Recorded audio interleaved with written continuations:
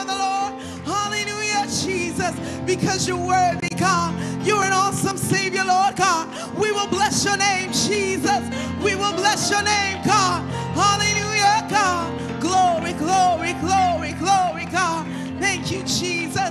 Thank you, Jesus. Glory to your name, God. You're worthy, God. Thank you, God.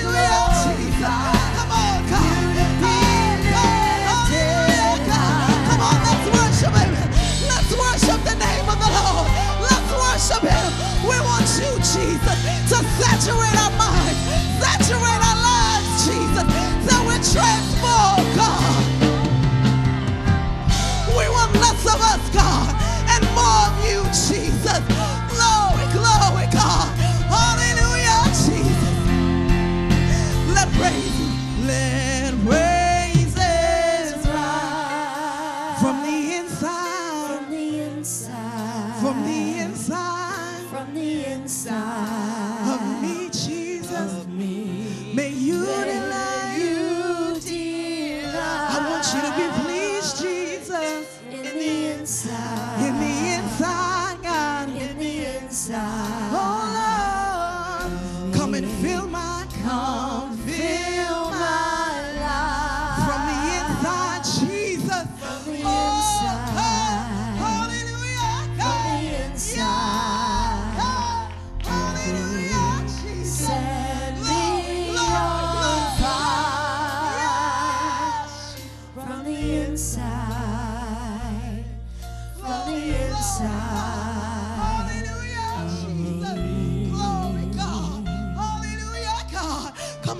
worship the Lord.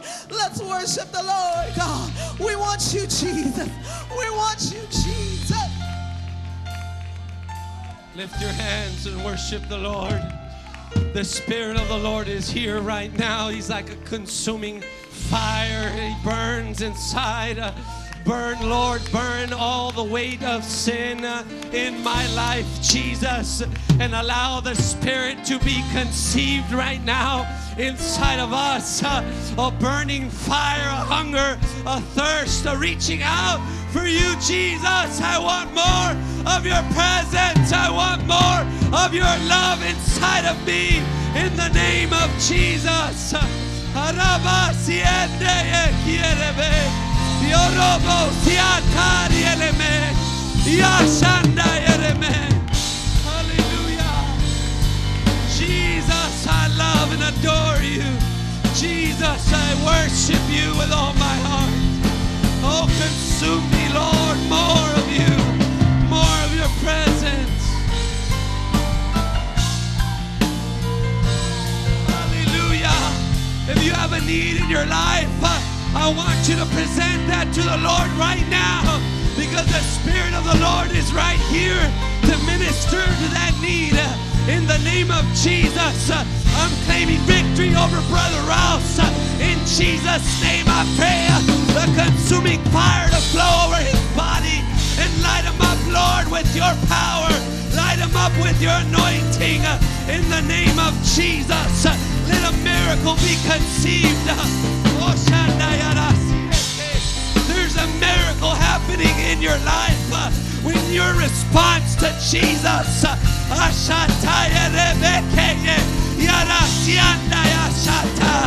oh, how I love you, Lord.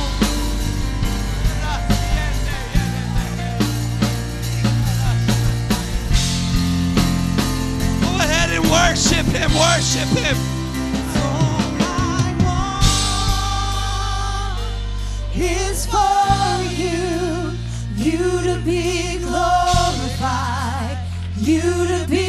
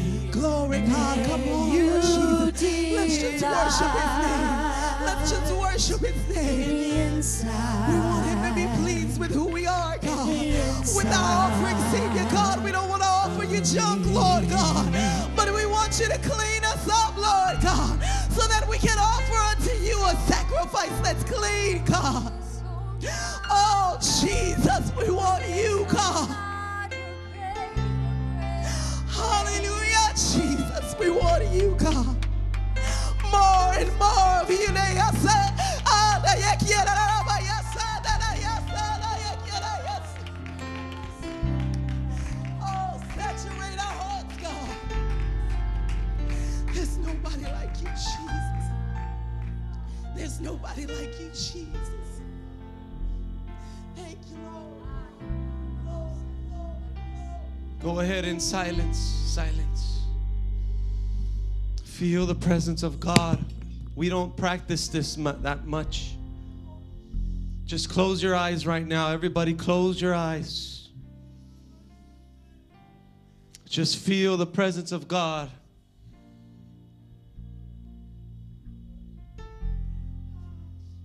Listen to the voice of God. Let Him speak to you.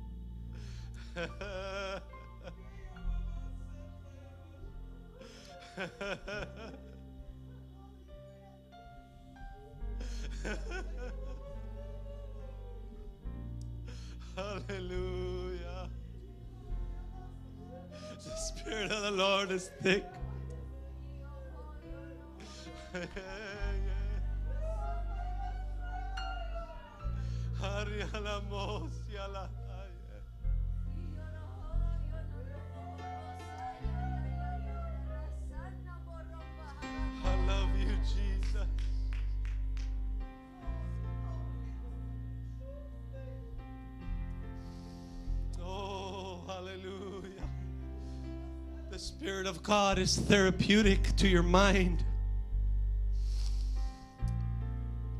It's therapeutic to your body. It's therapeutic to your soul. It's okay to just be silent and listen.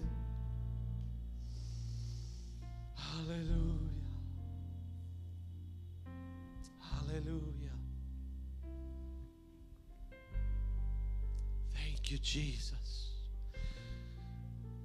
Thank you, Jesus.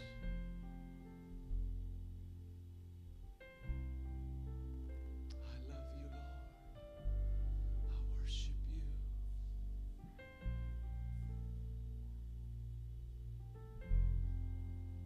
Hallelujah.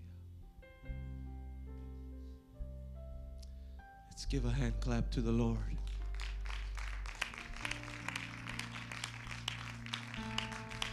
Hallelujah. Let's give a hand clap to the Lord. Hallelujah. I love you, Jesus. I love you, Jesus. Uh, I love and adore you with all my heart. Harabo shanda yara siete. Glory to your name. Hallelujah. It's okay, church, to worship God and in silence. Just feel the presence of God. You might not understand it, but God will speak to you and He'll put a thought and He'll put comfort and He'll put you in a place of stillness, stillness and tranquility. In the midst of all the pressure that you go through, He puts you in stillness. And when you can just, in silence, worship Him, love Him, Oh, the Spirit of the Lord comes in a beautiful way into you and He ministers to you. Amen. I'd like for each and every one of us to uh, greet one another and, and just welcome each other with the love of God. Amen.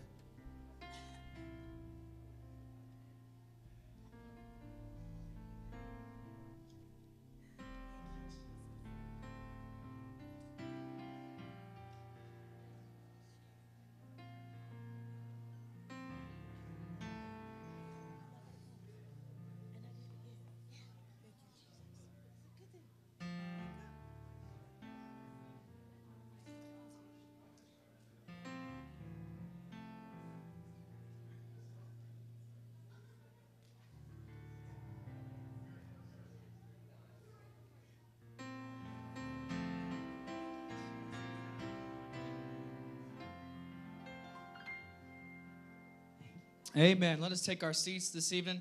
How many of you are grateful to be in the house of the Lord tonight? Praise God. I like what I feel. We're going to ask the ushers to prepare and come if I can get some gentlemen to help us here, please. Also, want to keep the church in mind that uh, this Sunday morning we will be having our last Sunday morning service for 2017. Hard to believe. Wow, this year is wrapped up and now we are moving on. So please join us. Also, this is your last chance to make any contributions for uh, tax purposes. Uh, please have them dated and turned in by Sunday. Uh, Sunday morning, 10 a.m. service. Amen. Please come and we're going to have a wonderful time in the Lord. We will be having watch night service also on Sunday. So please come back and join us 10 p.m. We will be having communion. Amen. And we're going to cleanse ourselves and we're going to be right. Amen. We always uh, usher in the new year in the house of the Lord because I believe that God is going to give us a vision. Amen. Pastor has been praying, and I believe that God is going to speak to us in that service next Sunday. So please make it every intention for yourself to be here. Praise the Lord. Let us stand tonight. We're going to pray over our tithe and our offering, and then you can come and give. Amen. Father, we thank you, Jesus, for your sweet presence and your touch that is here tonight. We ask, Lord, that you would continue to unfold your will in our lives, God. We give unto you tonight, Lord Jesus, from the joy of our hearts, Lord, because every gift cometh from you, Lord. And I pray tonight, Lord, that as we honor your word, Lord Jesus, that you would pour out blessings upon your people, O God, in the mighty name of Jesus. And let everybody say, Amen. Amen. As they sing, would you march and come and give tonight? You are a mighty God. You are a mighty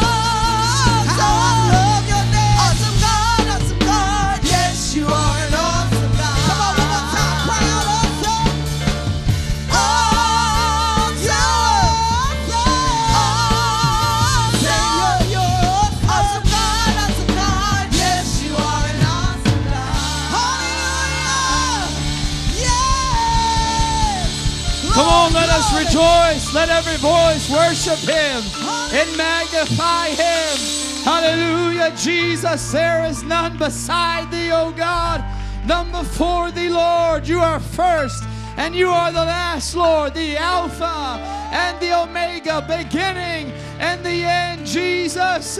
We love you this morning, this evening, God. We lift you up, Jesus. Hallelujah. Hallelujah. Hallelujah. Oh, yes, I like that. Hallelujah. My God's bigger than my problem. Hallelujah. God is bigger than any struggle that I might fight in my life. Hallelujah. Hallelujah. There's nothing. There's nothing that my God cannot do. Hallelujah. How many of you are a witness to that tonight? Hallelujah. He's been there for you. Come on. I said, He's been there for you. Right when the time was right, He came through. Hallelujah. He spoke and the sea was calm. Hallelujah. Hallelujah. Hallelujah. Let us magnify Him and rejoice one more time. Hallelujah. Father, you are great, oh one and holy one, matchless, Lord God. We love you this evening, God. Hallelujah, hallelujah, hallelujah, Jesus. Mighty, mighty, mighty. Hallelujah, hallelujah. Let us stand this evening. We're going to invite our speaker to come at this time. Would you put your hands together and welcome Sister Angela she comes to minister the word of the Lord to you?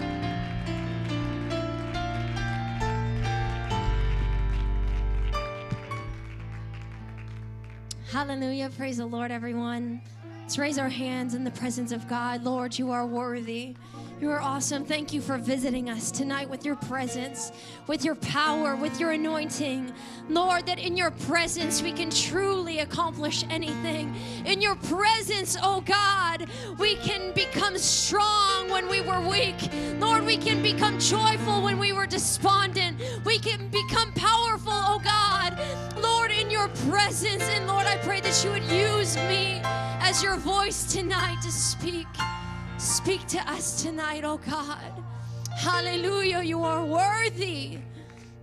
You are worthy in Jesus' name. Hallelujah. You may be seated. Hallelujah. The presence of God is wonderful. I love feeling the presence of God. Amen. I love being in the presence of God, and it reminds me when I wasn't living for God and how blessed we are tonight to feel what we feel. How blessed we are to know God. How blessed we are to be able to raise our hands and say, Thank you. Thank you for dying on a cross for me, God. Thank you for hearing my prayer. Thank you for coming for me, oh God. Thank you for picking me up out of the mess that I was in. Thank you for putting me a ministry in my life. Thank you for calling me to greatness. Thank you, God, for your blood. Hallelujah. I'm thankful tonight. I'm thankful.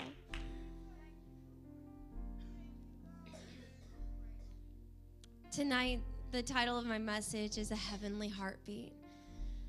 And when I think about just the intricacies of our body, it's just, it's amazing when you think about, we don't have to, we don't have to think about breathing. We don't tell our heart to beat.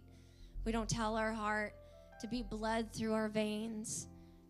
And when I think about the human heart, I was just researching a little bit. It begins to beat the first month of conception. And from that moment it starts beating until the moment it stops, the human heart, it works tirelessly to give us life. When the human heart stops beating, the body cannot survive. The average heart, it beats 72 times per minute approximately 100,000 times in the course of a day.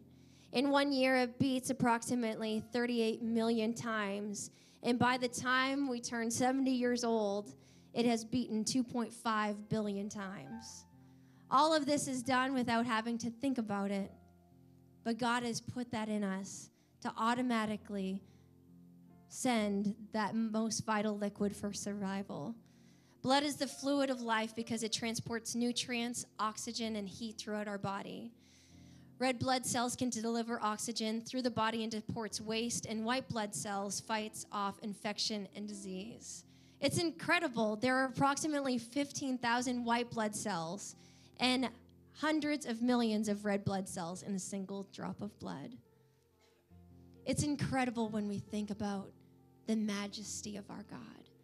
It's incredible when we think that He spoke this world into existence and He took us from the dust of the earth and formed us, but not just the form of us, but the intricate parts of us. When David said, I am fearfully and wonderfully made, who can really understand that there are millions, hundreds of millions of red blood cells in a single drop of blood? And that, that blood deports waste from our body, it brings oxygen to our body, it, it, it helps uh, fight off infections for our body in just a single drop of blood. An average heart pumps 2.4 ounces of blood per heartbeat, almost 7 million gallons per year. And the, by the ripe age of 70 years old, our hearts have pumped about 48 million gallons of blood through our heart. Our heart was built for a purpose. Our heart was built for life, and our heart was built for love. And when I prayed for tonight's service, I thought about the heart, the vibrant heart of God beating on that cross for all of humanity.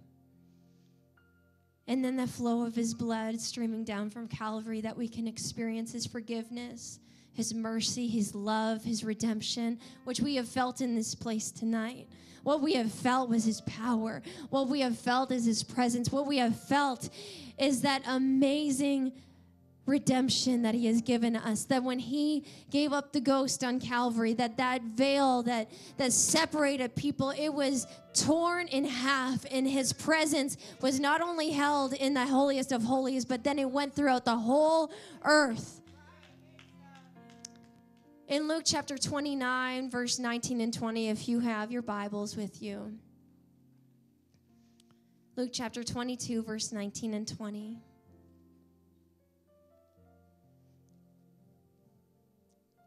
it says, And he took bread and gave thanks and brake it, and gave unto them, saying, This is my body, which is given for you. This do ye in remembrance of me. Likewise, also the cup after supper, saying, This cup is the New Testament in my blood, which is shed for you. Let's just pray once again. Lord, thank you for who you are. Lord, thank you that your heart is beating for us tonight. Your heart is beating for our family members. Your heart is beating for the billions of people in this world, oh God. It is calling out to people in this world tonight, God. And Lord, I pray that you would allow us to hear your heartbeat, that you would allow us to feel your heart beating inside of our chest tonight, and that we would think about souls Lord, without even telling ourselves to do that. It would just become second nature to look at somebody and to see that if we do not reach them, that they will go to hell. If we don't tell them about your love, oh God, that they may never make it to eternity. Lord, help us tonight through your presence and your leading and your guiding. In Jesus' name, hallelujah. Hallelujah. We don't have spiritual life within us unless we have the heartbeat of God beating in our chest and His blood flowing through our veins. We need to feel the urgency of His Spirit calling to this world for salvation. Jesus is coming back and He has trusted us. He's trusted me. He's trusted you as the body of Christ. So it's up to us to share the gospel with our friends, our coworkers, everyone that we meet on the street. What is the heartbeat of God? The heartbeat is beating for people, it's beating for souls. And I think to myself, I think about, um, you know, sometimes we can be so scared and so fearful to reach out to somebody because we think, well, what if we don't know what to say? Or we're scared of their religion. We're scared of, well, what am I going to say because they've they've grown up believing something completely different than me or they don't speak my language or they don't have my culture or they they don't have my family life. What what is that common ground? The common ground is that god bled and died for us. He manifested himself and, and died for us on Calvary. That is the common ground that all has sinned and come short of the glory of God. That our common ground is that we are all sinners, that we all need God, that we all need to be born again. That when you don't know what to say to someone, it's okay, pray, because our, our spirit precedes us. Tonight, before I got up here, I said, God, purify my heart, purify my mind. I don't want to get up there with anything that could hinder me because everything I am walks up to this pulpit. Everything. Everything you are walks to your workplace. Everything you are walks to your school. Every everything you are walks with you to that grocery store. And that's why I can walk in someplace and they can say, "Whoa, you're a bit different." I've been asked several times in my life, like, what church do you go to? And it's not because I was witnessing to them, it's just they felt something different. They felt that witness of the Spirit. And, and it gives you an open door to be able to say, hey, let me tell you a story. This is not happening just by accident. And maybe uh, I was thinking about language barriers. And I, I read an article in Pentecostal Herald. It's an, a from when they first started uh, publishing it. But it was of this missionary couple, and they went to go witness to the Navajo Indians, but they did not know their language. But they would speak in tongues. And as they would speak in tongues, God allowed that diverse spirit, you know, to, to speak through them, and they would preach to them the plan of salvation through their language, but they were speaking in the Holy Ghost. And so sometimes all that we have to do is just pray. I read a story about Brother Bishop Urshan. He's passed on now, but he went to Russia to do a conference and he was preaching, and it was a communist country. They weren't allowed to preach uh, Christianity and the gospel message that we have the freedom to preach tonight. But a bunch of Roman or Russian soldiers came into that building and they lined them up against the wall to execute them. And Brother Urshan said, Well, if I'm going to go, I'm going to go praising God. So he raised his hands and he began to speak in tongues and he just entered into a heavenly place. And when he opened his eyes, there were no Russian soldiers left. And the, the missionary said, I didn't know you knew Russian. And he said, I don't. He said, Well, you were speaking fluent Russian. And what you said was, There is an army that you know not of, and they are on their way, and they will defeat you. And it put fear in their hearts, and they fled from our church. That's the power that we have tonight, that there are no barriers when we serve God. There isn't a language barrier, there isn't a culture barrier, there isn't a religious barrier. That when we give our heart to God, that that anything can happen. Uh, another um, story just popping in my head. A little boy at a, uh, a, junior camp he was eight years old he received the gift of the holy ghost at youth camp and or junior camp. And he was just worshiping at the altar and his parents were praying with him. And missionaries uh, to a spanish speaking country came up to his parents and said your son speaks beautiful spanish and they said, No, he doesn't speak Spanish. His, the only language he knows is English. And they said, Well, he is saying, I am being filled with a river of life. Thank you, Jesus. Thank you, Jesus. That's the power of our God. That is the power of our God. He's the one who has put language in this world. He's the one who knows it all. He can use it however he wants to, but he is just looking. He's looking everywhere for a willing vessel.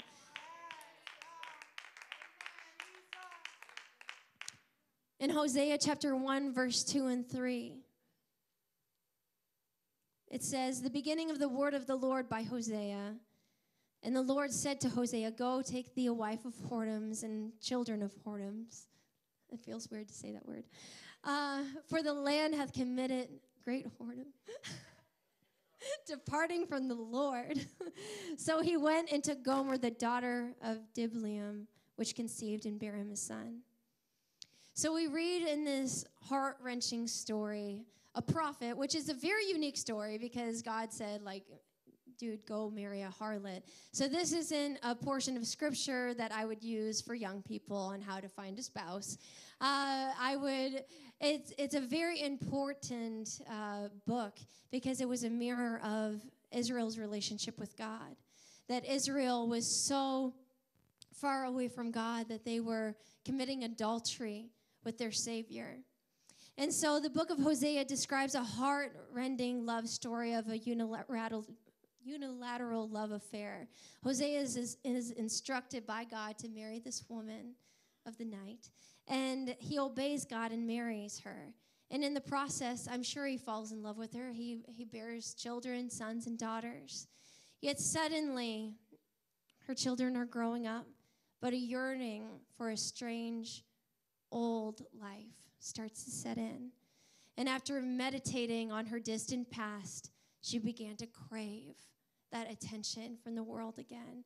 And she left her husband, she abandoned her children. And maybe she lived in a fantasy world for a little bit. Maybe she went to parties, saw old friends, had laughter, but the fun was only a facade, and life begins to deteriorate at a rapid pace.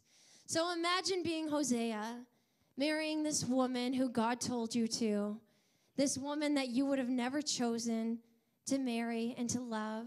Yet God said, This is for my people. I want to use your life as an example to show Israel what kind of situation they are living in. And then Hosea, he obeys God, and then the love of his life leaves him and goes back to her old lifestyle, which it's not like she was a waitress or anything. She went back to a terrible lifestyle. And he knew what she went back to. And God, he spoke to, to Hosea again in chapter 3, verse 1 through 3. It says, The Lord said to me, Go, go show love to your wife again. Though she is loved, and this is NIV, though she is loved by another man and is an adulteress. Love her as the Lord loves the Israelites though they turn to other gods and love the sacred raisin cakes. So I brought her 15 shekels of silver and about a homer and a half of barley. Then I told her, You are to live with me many days. You must not be a prostitute or intimate with any other man, and I will behave the same way toward you. Hosea must have been brokenhearted and his children abandoned, and he finds out about Gomer's predicament and is told by God, Go back to her. Go back to her. Go love her. And he took everything that he had. He took 15 shekels of silver and a homer and a half of barley. And he sees what used to be a beautiful Gomer reduced to a broken, unwanted, unattractive woman on a slavery block, being auctioned off for much lower, I'm sure, than what he paid. She cannot look into his eyes. Hosea is undaunted by her appearance, unfazed by her avoiding look, and he asks what the paying price is, and he pays it. And he says, Gomer, come home with me. I will restore you to your rightful place. Hosea is able to do this because he had a heavenly heartbeat. God puts this example in the Bible to help us understand the agape love, which with He loves the lost, which He loves you and me. All of us have been a Gomer a time or two. All of us have left that perfect love of the arms of our Savior and said, What is the point? All of us have done what we've wanted in our own eyes. Yet sometimes we do not give other people that kind of respect that God has shown toward us. That when we look at people, when we see the hurt and the pain, the lifestyle, we have to pray, God, please give me a burden for this person. Because when we have a heavenly heartbeat, it does not matter. We will see past their bad attitude. We will see past how they are dressed. We will see past the language that they speak. We will see past their lifestyle. We will see past it all to that beating heart inside of them. That we know if we do not reach them, that they will go to a devil's hell. That if we don't tell them about the love of God, that who else will tell them that I do not want their blood on my hands? And I don't want to think about how many people in my life that I've been too busy and I have walked by and my blood is dripping from my hands. I worked as a shoe store uh, in Niagara Falls. The story just, I just thought of it, but I loved working there. Loved it, and I was really good. I mean, I would sell some women 20 pairs of shoes just in one one visit, and I would say, "Shoes make or break the outfit." That was my line, and I don't know, like women just believed me. And I, I just sold so many shoes, and I had a lot of shoes. When I went to Bible college, I had well over a hundred pairs. I don't have that many anymore. Um, God delivered me, but but I loved working there. Uh, uh, there was a huge staircase to the second floor because one floor of shoes is just not enough. And this little boy and his mom came, and he fell down the stairs, and and there was blood like everywhere, and just maternal instinct, I guess, kicked in, and I like picked him up, and and I was trying to like just care for him, and I looked down, and his blood was on my hands, and God spoke, and He said, "You don't want people's souls, the blood of people's souls on your hands." And I just, I went to the restroom and I just prayed and I cried and I said, God, give me a love for your people. Give me a love for your people. Whenever I, I was shopping on Black Friday, you guys are going to think I'm a shopaholic, but I'm not. But I was shopping on Black Friday a few years ago in Chicago, and I was in this very tall building, and I just saw thousands of people on the road, and I just started to weep because I thought, who is going to reach them all? Who's going to tell them? About the love of God? Who's going to say, you know what, you don't have to live broken forever. You don't have to live bruised forever. You don't have to live addicted forever. Understanding the value of a soul. Jesus taught that the value of a soul was more precious than the whole world. To God, a soul is the most important thing on earth. Upon beginning his ministry, Jesus immediately began to seek out and to call men to follow him. And during the final hours, while suffering excruciating pain, he ministered to a lost thief and gave him the promise of eternity. Philip, he was directed by an angel to leave a great re- lead a great revival in Samaria, to travel to the south to Gaza to preach just to one man. The man whom Philip was directed thirsted for living water, but was plagued by confusion as he read Isaiah chapter 53. Jesus tells us in Luke chapter 15, verse 7, that there is joy in heaven over one sinner that repenteth. It was not a fortune that was lost, it was one coin. It was not a flock of sheep that was lost, it was a lamb. It was not a city that was lost, it was the son. Who's that one person that you can reach? Even before this year is over, we still have a few days to reach people every single day of our life that when our alarm go, goes off in the morning that we say souls i need to reach someone today. I need to i need to reach someone today. I need to tell somebody about the love of god today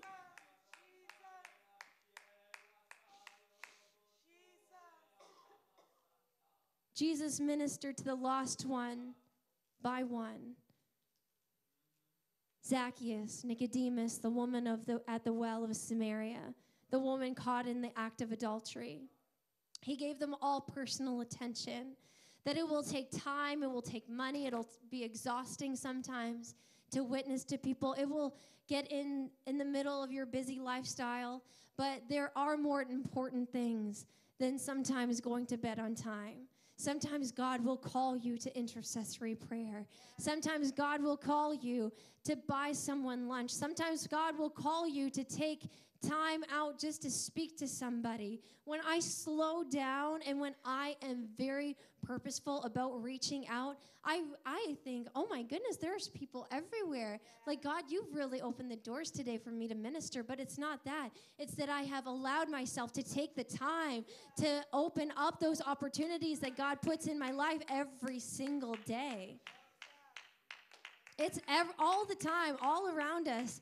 Like my pastor in Michigan, he was at the gas station pumping gas, and a man was saying, Oh, I hate the gas prices. And Pastor Chapman was like, Yeah, but God will provide. And the man said, Oh, do you serve God? And he said, Yeah, I'm a pastor down the road.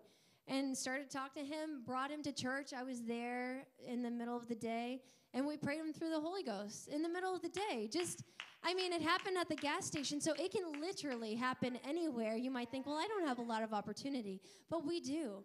We do. I, when I was at Bible college in Minnesota, my friend Holly and I, we were driving past a, a hospital.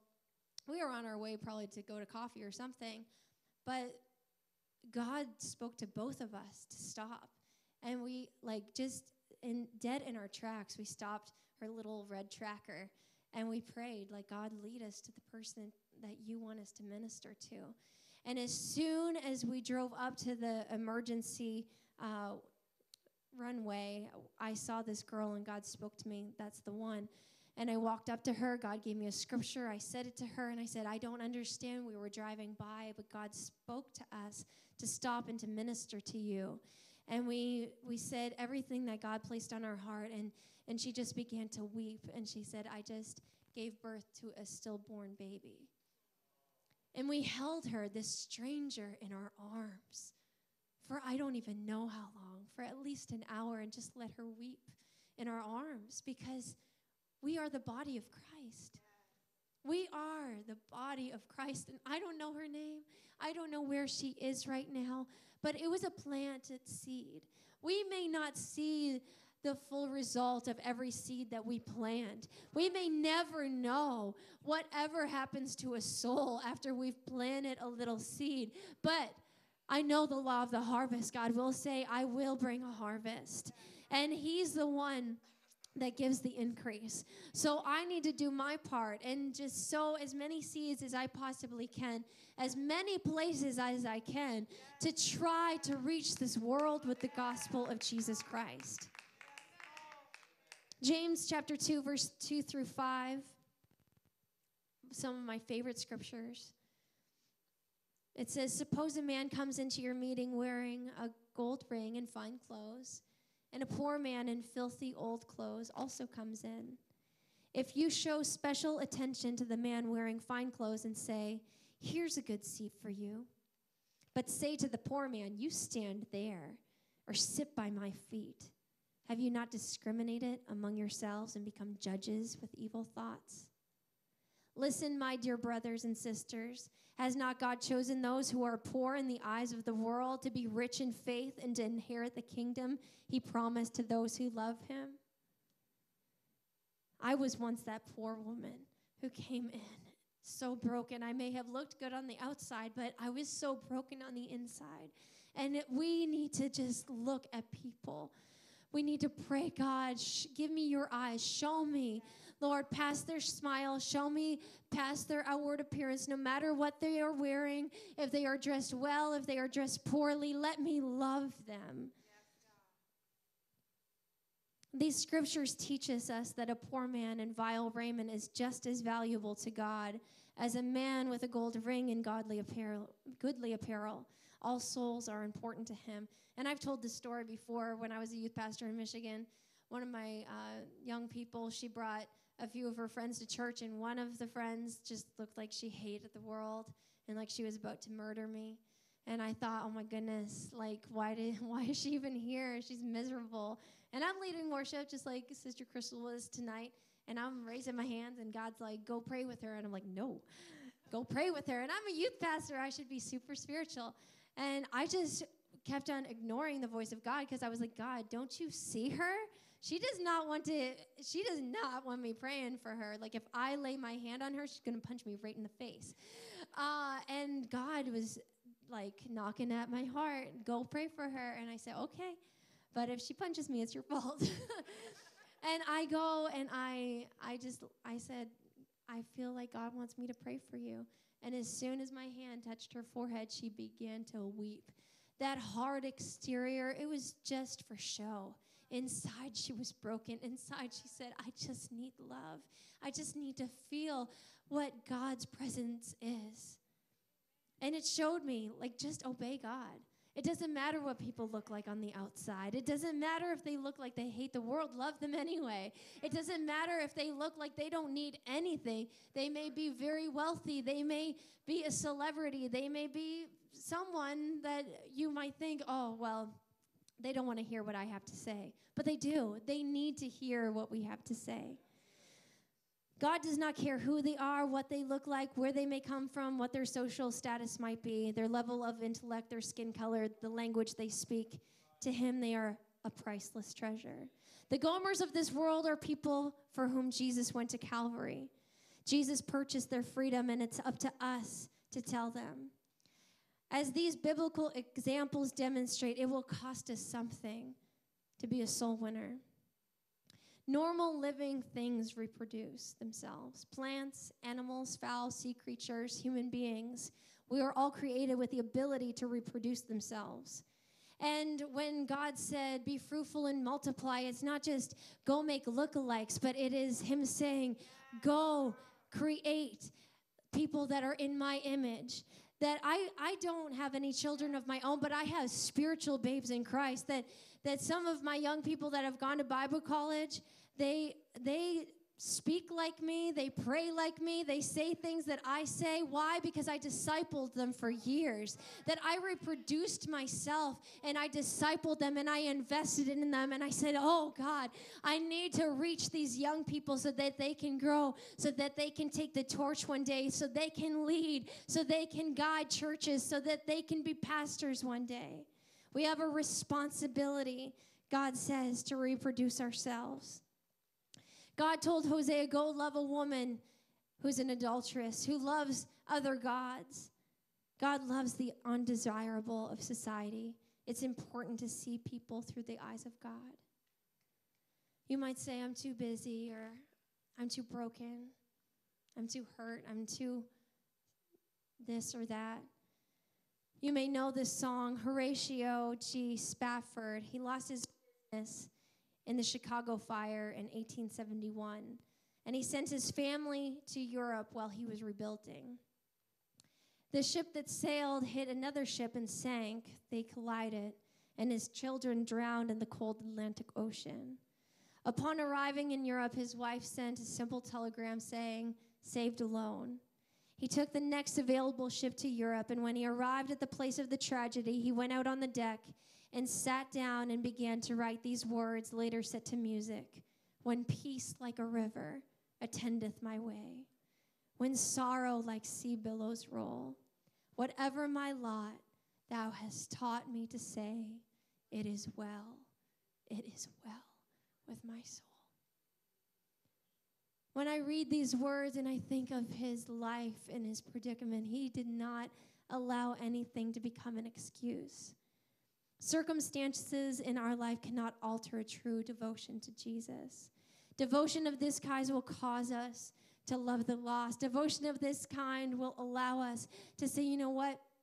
I am going to intercede for these people. I don't care what it is that God is asking me to do. I am going to do it because I want to please God, because I don't want to go to heaven alone, because I want to see people get saved. There is no greater joy than when you invite someone to church, when you disciple them, when you teach them Bible studies, and you pray them through the Holy Ghost, and they get baptized in Jesus' name, and you literally see their whole life changed around. There is nothing greater. That's where I get my greatest joy, is when I see somebody receive the gift of the Holy Ghost, someone that I've invested in. And like I said before, not every seed we plant will show us the result, but that doesn't mean that it's not growing. And you might be scared to step out. You might be scared. You know, it, it happens to even me now. Like God will say, go talk to that person at Walmart or go talk to that person at Target. And I work at the church, so I used to witness to a lot of my coworkers, but I can't really save pastor. Uh, so I have to be really creative in the ways that I evangelize now. So whenever I go to Target, I have like certain people that I've seen several times over and over again, and I'm able to talk with them, but it's an open door for more conversations. Every time I go to the bank, I have certain tellers that I'm getting really close with. Some of them, uh, you know, like we're planning on going out for coffee, so that's an open door. So wherever you go, there's open doors for God to use you. Jesus tells us again in Luke chapter 15, verse 7, that there's joy in heaven over one sinner that repents. And think, weren't we all Samaritans? Weren't we all Gomers? Weren't we all at one point that thief on the cross? Think to yourself, how has God loved you? And what has He loved you through? The heartbeat of God, it beats to the sound of the names of billions of people in this world. It beats. It's beating right now. It's saying, Nadia, Abigail, Michael, won't you hear me? Won't you see me? Won't you come close to me?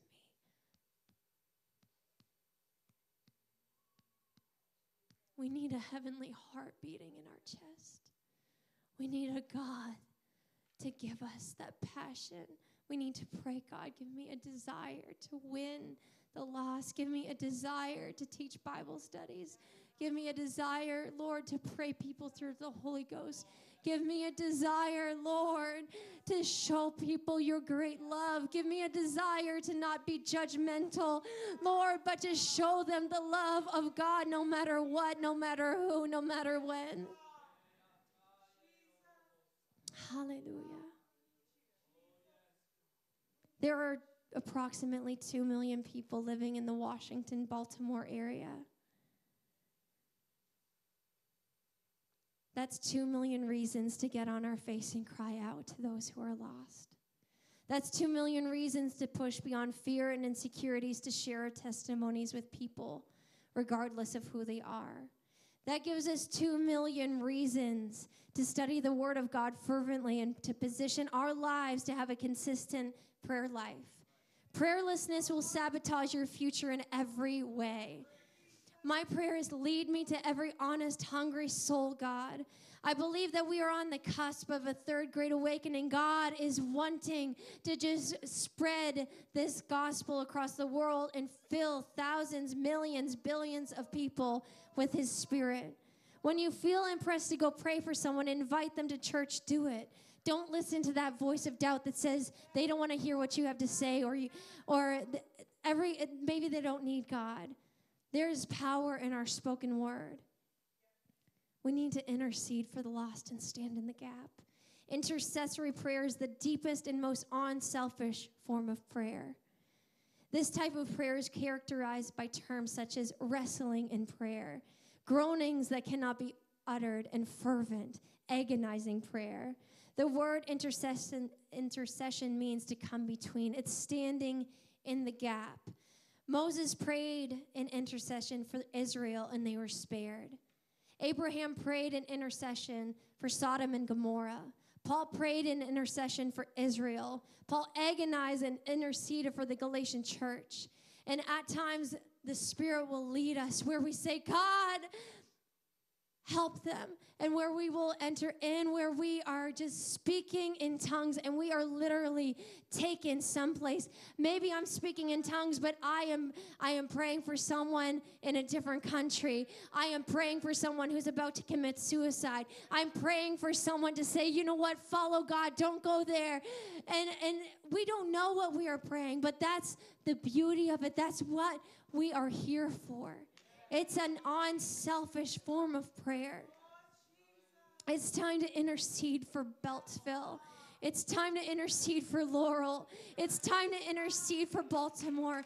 It's time to intercede for your city, for your workplace, for your family, for the people that you come in contact with. Every single day, it's time to intercede and say, God, please give me a heavenly heartbeat. Put that beating in my chest, oh God, where I don't even have to think about it anymore, where it becomes second nature to me, God, where I don't even have to, I just do it. I just share your word. I just pray with people. I just show them love. Can you hear the broken hearts of the people in your city? Can you hear their cry? Can you hear the cry of your family members saying, Can you help me? They might not say it, but they are feeling it in their spirit because they are not happy. And they are searching for something that we have. Let's all stand.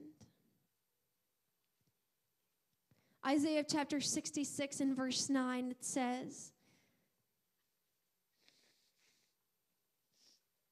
Would I ever bring this nation to the point of birth and then not deliver it? asks the Lord. No, I would never keep this nation from being born, says your God. And my prayer tonight is Lord, give us the strength to deliver babes at Cross Creek. Give us wisdom to teach them so they can grow. Lord, let us hear the cries of the lost people of this city. Let us feel the sadness of people that we talk to. Let us stand in the gap with intercessory prayer. Lord, let us stand in the gap, Lord, of those who are just sending themselves to hell, Lord, by the situations and circumstances that they are involved in. Let us feel the desperation of our city, our family, our friends, our coworkers. Let us hear their cry when we go to work. Let us hear their cry when we go grocery shopping. Let us hear their cry when we drive past them. God, I pray that you would unveil our eyes that we could see souls everywhere. Just not a person, but a soul. Convict us of complacency. That we would look past ourselves to the point of the need, oh God that your heart is beating right now for the souls in this city. Your heart is beating for our unsafe family members. Your heart is beating for our unsafe children. Your heart is beating for the homeless man and woman on the street. Your homeless, Lord Jesus, your heart is beating for the Gomers, oh God, on the streets, oh Lord, looking.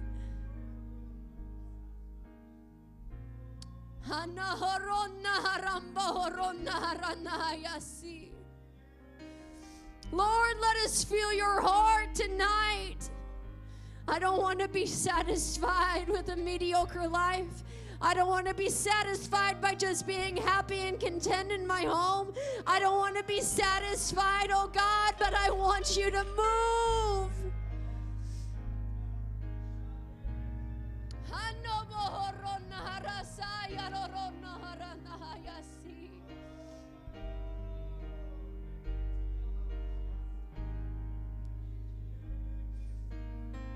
I encourage you to come to this altar and pray.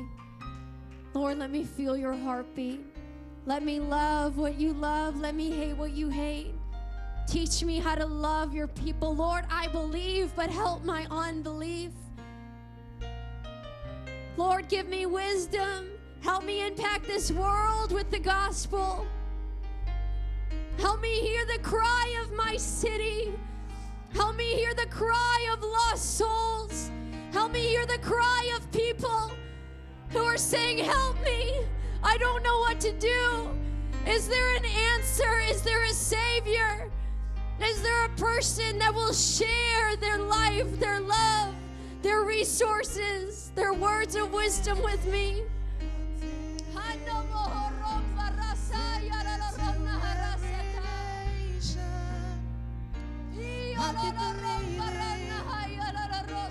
Keep interceding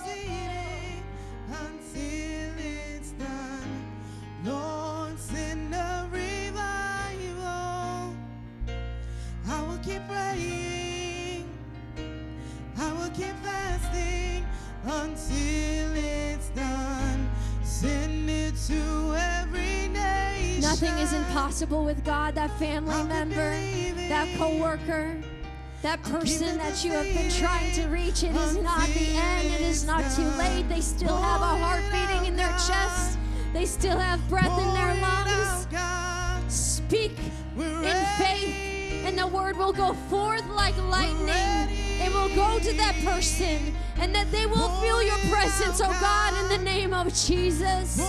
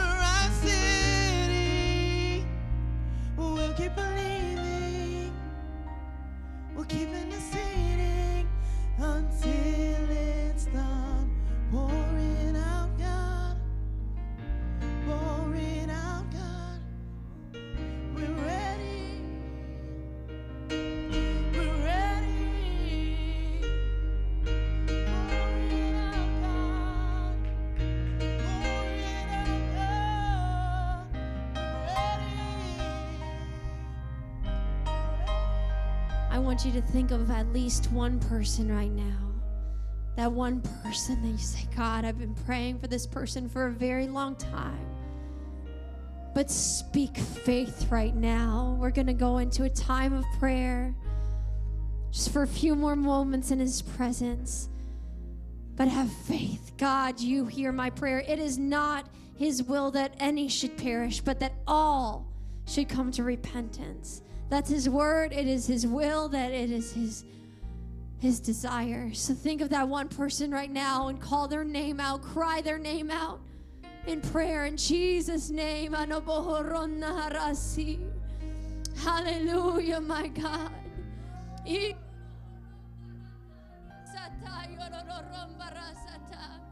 Intercede for them. Stand in the gap for them.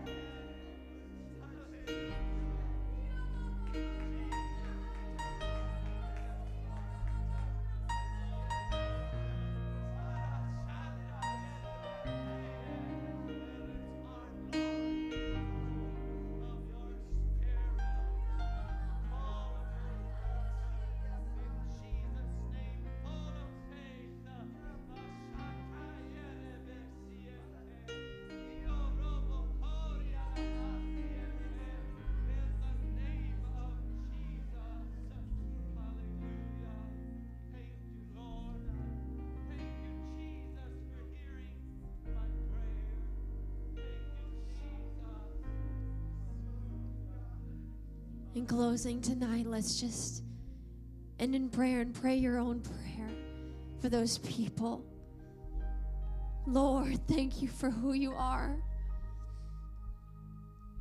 Lord, I pray that my sister, oh God, Jonna, would come back to you. My Uncle David, my Aunt Gail, Lord, for those who have fallen away, for those who have felt your presence and have been like a Gomer, oh God, and have searched for their own lifestyles only to find out there is nothing this world has to offer that is greater than your presence. Lord, move in our hearts. Let us feel that heart beating inside of our chest, oh God, for souls.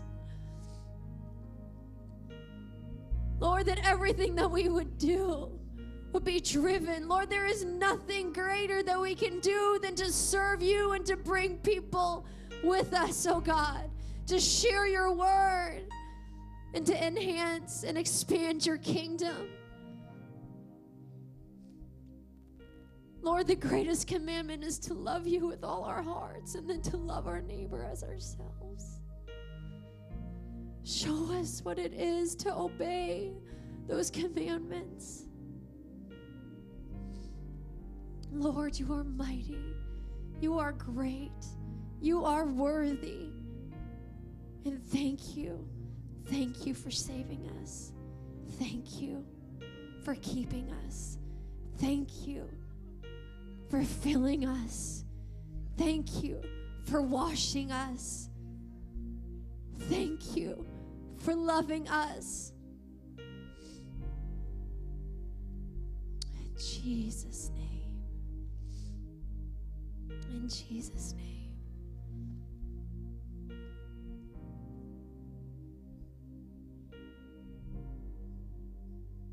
Feel free to linger in his presence.